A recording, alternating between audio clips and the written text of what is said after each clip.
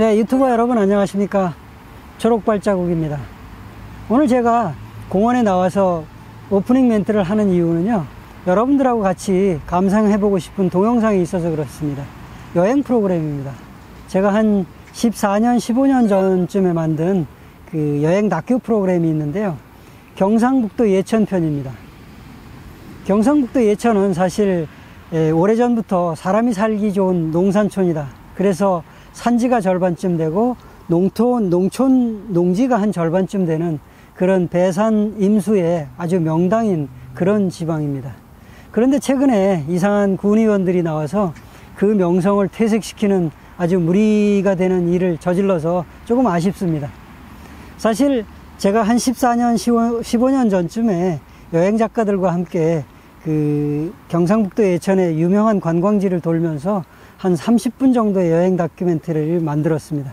제 베란다에 있던 것을 끄집어내서 새로 재편집을 했습니다. 그러니까 이제 성우 내레이션도 제가 직접 하고요. 그 다음에 그 배경음악도 모두 무료 음악으로 아주 갈아치웠습니다. 여러분, 어, 경상북도 예천으로 저하고 같이 한번 가보시죠. 넓은 벌 동쪽 끝으로 대성천이 휘돌아 나가고 600년 반송 아래 사람들 쉬어가는 고향마을. 따뜻한 온천물에 몸을 녹이면 구수한 토속 음식이 시장길을 부추기는 곳 거기 물맑은 효심의 고향 예천이 있다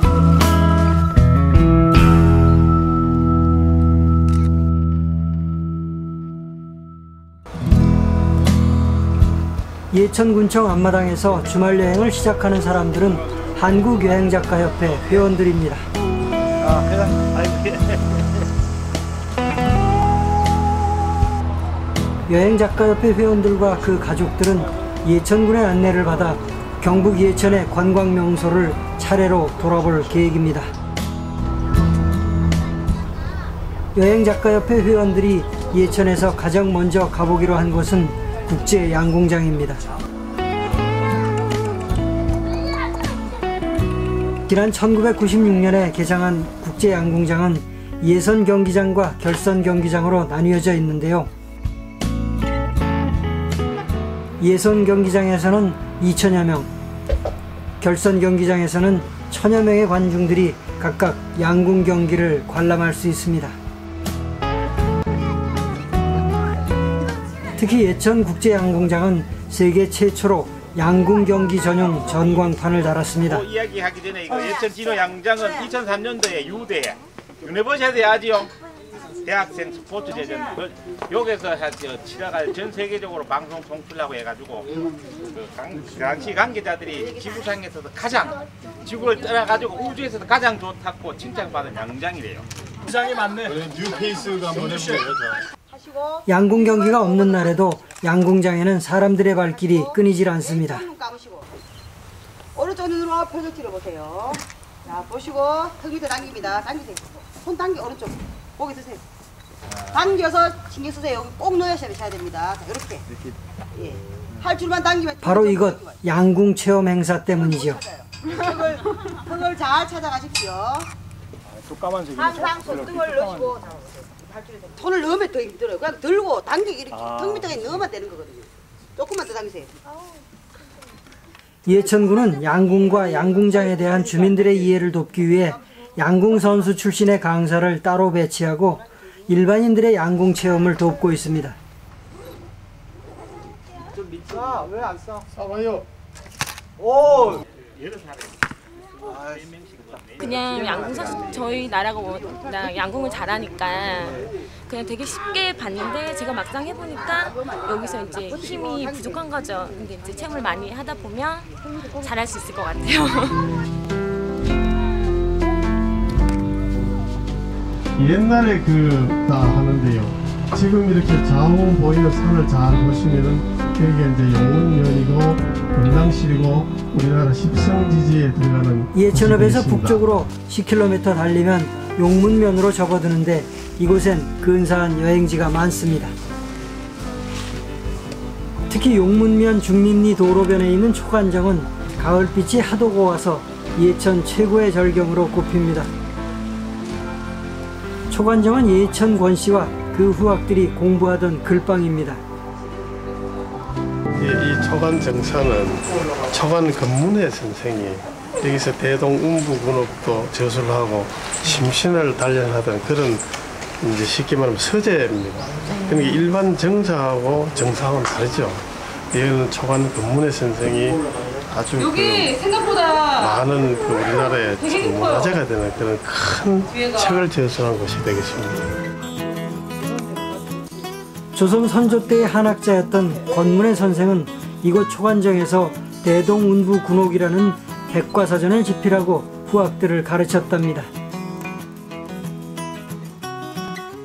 비록 50여 년 전에 다시 세운 건물이기는 하지만 초간정에는 아직도 권문의 선생의 채취가 남아있는 듯하고 그 주변의 가을 경관은 수려합니다.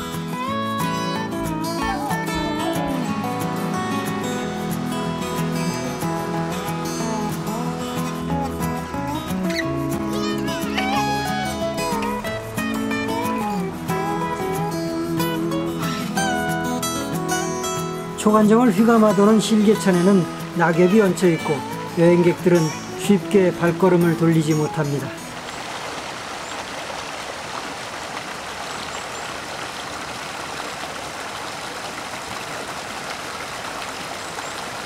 또 뭐 좀 아는 게 적다 이하시면은 여러 어른들이 보태가지고 초간정에서 금당지를 왼편에 두고 용문산 공연하고 차를 몰면. 용문사가 예, 나옵니다. 그러면은 장안 여기 저 용문사에 가서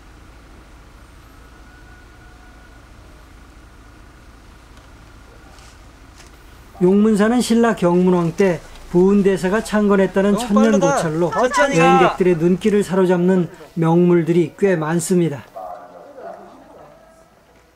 대장전과 명부전, 범종루 등 10개의 전각들로 이루어져 있습니다.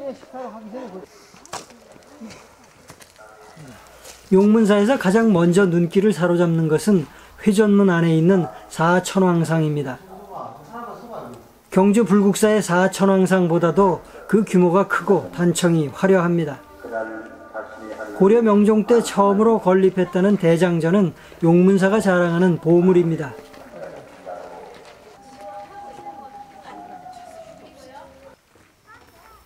맛배 지붕에다 목각 처마 그리고 단청이 주변의 자연 경관과 잘 어울립니다.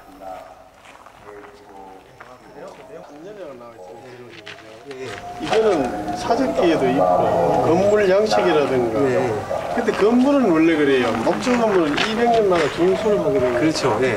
아니 저는 이제 원래 건물은 그러니까. 고려 때 이제 건물이지만 나중에 이제 전소가 되고 다시 이제 후대 이거는 진짜 하다 용문사가 두 번째 자랑하는 보물은 목불좌상과 목각탱.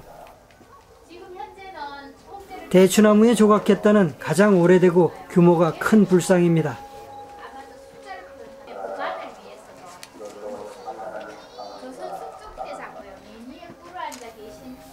금을 입힌 목불좌상 옆에는 또 하나의 명물이 있는데 바로 윤장대입니다.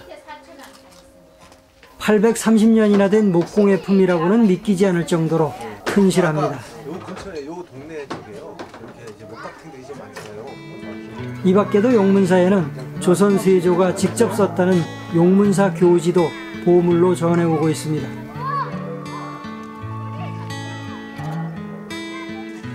때마침 용문사에는 가을이 무르익었습니다. 아이들은 용문사의 가을을 마음껏 즐깁니다.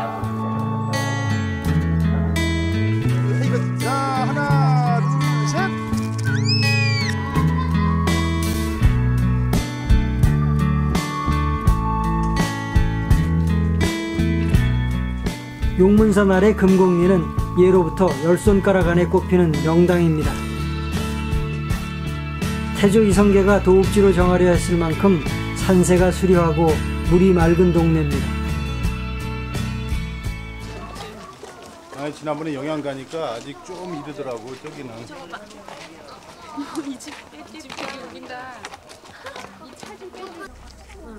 저녁 연기 피어오르는 동네 골목에 강아지들이 마중을 나왔습니다.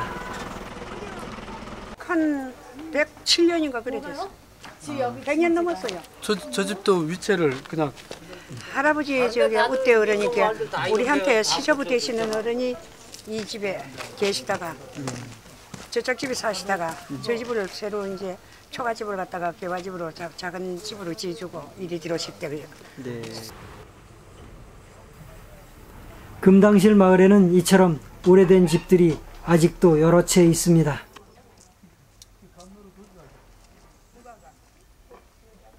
있습니다.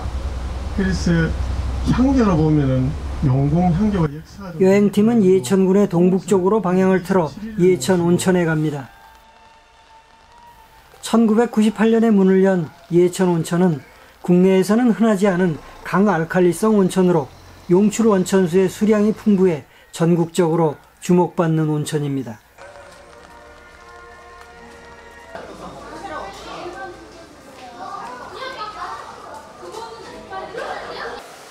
특히 최근에 실시된 수질 검사에서 그 수질이 금강산 온천의 것과 비슷하다는 결과가 나와서 관계자들을 들뜨게 했습니다.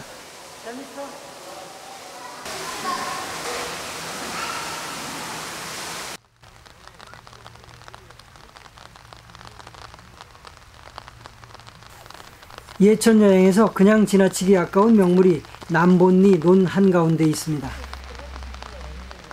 개심사지 5층 석탑으로 고려 초기에 세운 것으로 추정됩니다. 여기 지금 저렇게 자물쇠 만들어 놓은 거 보면 보통 탑 안에 뭐 탑신에는 사천왕상이 제각기 다른 모습으로 사리를 지키고 있고 기단에는 태를 두른 12지 신상이 새겨져 있습니다. 정남북으로 나와요. 민가에서는 정남북으로 못 나와요. 요즘 뭐 아파트 짓는데 뭐 거리 짓는 거거든요. 근데 이런 부분이 있지 않습니까? 이게 마흔 몇 장가 알고 있는데 여기에 그 이두 문자가 한 10자 이상 이렇게 발견이 되어 있어요. 예 이두는 이제 신라 설청 그 신랑이 만드셨잖아요. 그렇죠. 이게 그 불교 문화 영향을 안 받았다고는 못했죠. 그 이게- 고려의 원래 이게 저 구멍이 두 개씩 있었으면 저기가 있었나 이 총이 달려 있었나 성경을 열어서 조선조 500년 유교가 들어오면서 많이 불교 문화가 파괴가 됩니다. 그러니까 이게 전부 다 절터를 보존을 하고 이렇게 농가운데 이래 들어서고 더구나 이게 지형이 얼마나 바뀌었어요. 옛날에는 이렇지 않았거든요. 석탑은 말없이 늦가을 비를 맞고 있습니다. 근데 1914년도에 예천군하고 용궁현하고 맨 군택이죠.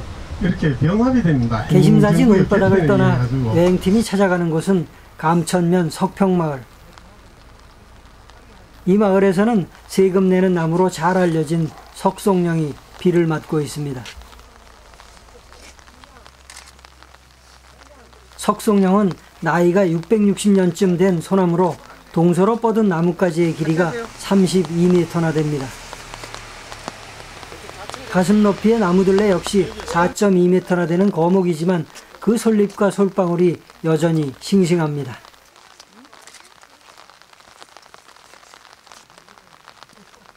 (1927년) 마을에 살던 이수목이라는 사람이 나무의 이름을 짓고 자기 소유의 땅을 상속해주고 나서부터 석송령은 세금을 내는 부자나무가 되었습니다. 그 이제 대통령 하사금 500만 원 하고 이게 토지에 대한 임차 준 금액을 모아 가지고 지금 이 마을에 있는 중고등학생은 그 석송계에서 장학금을 다 줍니다. 그러면은 이제 학생들을 저 공부시키는 나무라고 해도 되겠네요.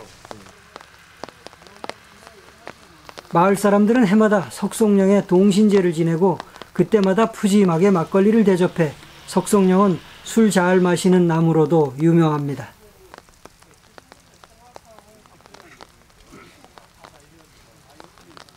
동신제는 정월 대보름 때 치러지는 마을의 전통 행사입니다. 동신제라고 하는 게 그 한 해에 동네 안녕과 그렇게 행복을 기부하는 염원을 이렇게 제사로 지내거든요. 그런 일종의 그 원래의 신앙이죠. 우리 토속 신앙이거든요. 근데 그날은 경건한 마음으로 이렇게 제사를 모시고 아마 그 뒤에 뭐 동네 윷놀이를 한다든가 이런 이브 행사는 거의 떠났고 정월 대보름이고요. 여행 작가들이 사진 촬영에 정신이 팔려 있는 사이 10살짜리 정수는 600살이 넘은 석송령과 속 깊은 대화를 나눴습니다. 어, 그거 왜 꿨어? 네, 기념으로. 기념으로?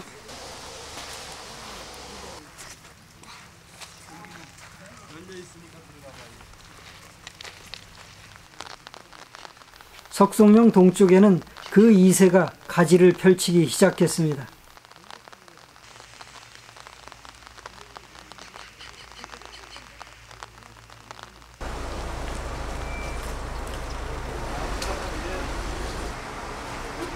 예천의 토속 음식으로 정평이 나 있는 것은 청포묵과 순대. 여행팀은 그 중에 하나 용궁 순대로 늦은 점심을 해결키로 했습니다. 우리는 내장이 안 들어가요. 내장은 안 들어가요. 이 곱창은 어디서 사오시는 거예요? 이게요. 예. 안동에서 와요. 아, 안동에서. 예. 이게 뭘로 만드신 거예요? 이거요. 네. 어, 야채, 막창하고 이 껍질은 이 막창이고요. 네. 당면하고 찹쌀하고 뭐 가진 야채가 다 들어갔어요. 한방 약초가 들어가고. 한방 약초? 한방 약초를 넣어 만든 용궁 순대는 맛이 담백하고 쫄깃해서 단골 손님이 많은 음식입니다. 이거는 무엇에 쓰는 주지요? 네? 이거 뭐에 쓰는 순대국에 쓰는 사골에 가진 양념을 넣어 우려내고 그 국물에다 용궁 순대를 넣어 만드는 순대국 역시 이 집의 별미입니다.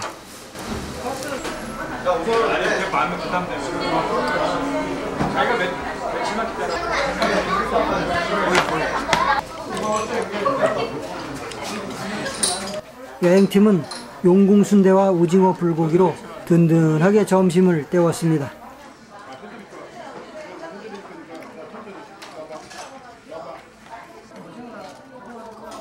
때늦은 점심상을 받은 아이들도 순대와 오징어 불고기 맛을 쉽게 잊을 수 없을 것 같네요.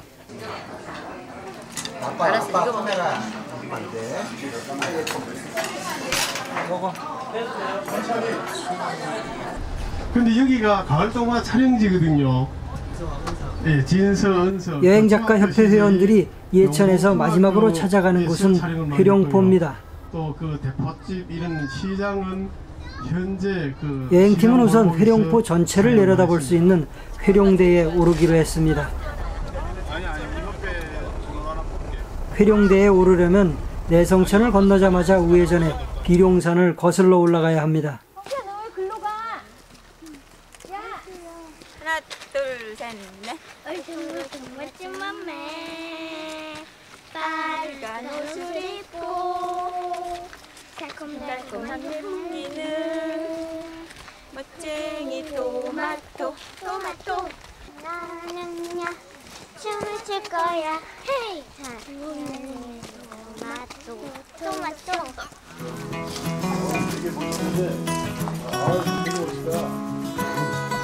비룡산 중턱에 장안사가 있는데 그 길목을 큼지막한 석불 좌상이 지키고 있습니다.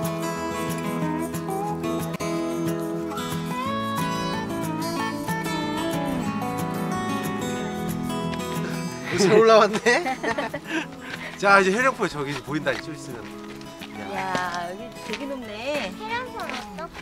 어, 용- 해령포는 용 내성천이 물길을 이렇게 돌아가가지고 둥글게. 그래서 용처럼 피가 아마 돈다 그래서 해령포라 그래.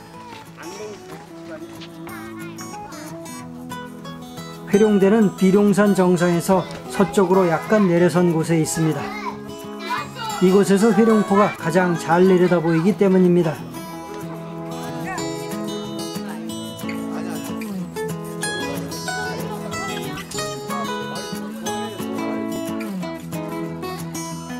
회룡포는 내성천이 태극 모양으로 휘돌아 나가는 육지 속의 섬마을로 맑은 물과 넓은 백사장이 어우러져 천혜의 경관을 자랑하는 마을입니다.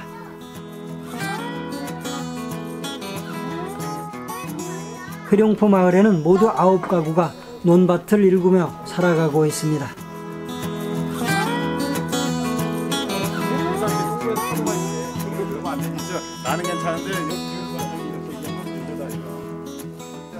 정수야 이렇게 보면 태극처럼 생겼지 물이 이렇게 해가지고 이게 내송천이야 이렇게 해서 한 바퀴 돌아서 저렇게 가가지고 이렇게 해서 이렇게 돌아가 그러니까 이게 360도 중에 저 15도만 이제 붙었어 저 길 보여?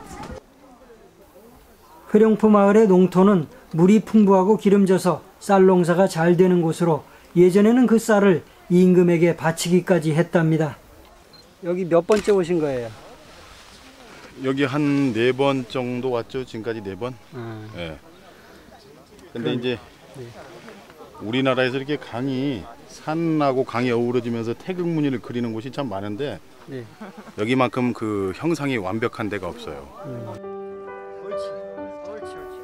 천혜의 절경을 놔두고 그냥 갈 수는 없는 일.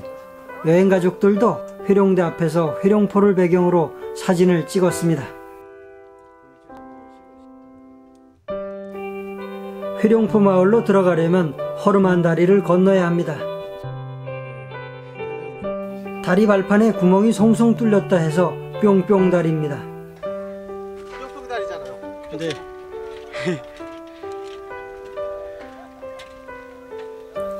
해마다 장마 때면 떠내려가는 섭다리를 대신해서 마을 사람들이 몇 년 전에 놓은 다리입니다.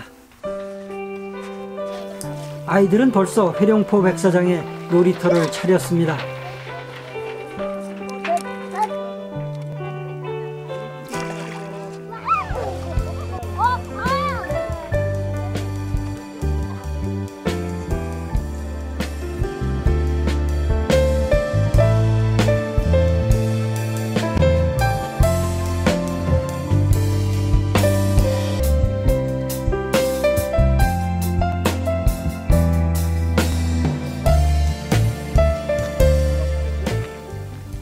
여행팀이 마침내 회룡포 마을에 들어섭니다. 논두렁길은 인기 드라마 가을 동화에서 주인공들이 자전거를 타고 달렸던 길입니다. 여행팀은 마을 어귀에서 허름한 농가를 찾아 들어갔습니다. 처마 밑에는 마늘이 걸려 있고 뒷뜰에는 때깔 고운 홍시감이 주렁주렁 매달렸습니다.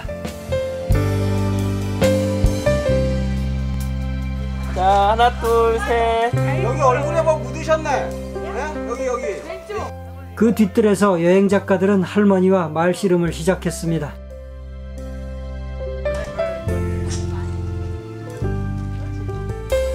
할매. 할머니 이쪽으로 오면 얼굴 돌려서 이쪽으로 매면 되잖아요. 곶감을 매다는 할머니 모습을 그냥 지나칠 리 없는 여행 작가들이 할머니에게 사정을 해보지만 할머니도 만만치는 않네요. 사, 사형지, 딸 삼형지, 칠남매요. 음, 오, 말이야. 78. 다 이쁘죠.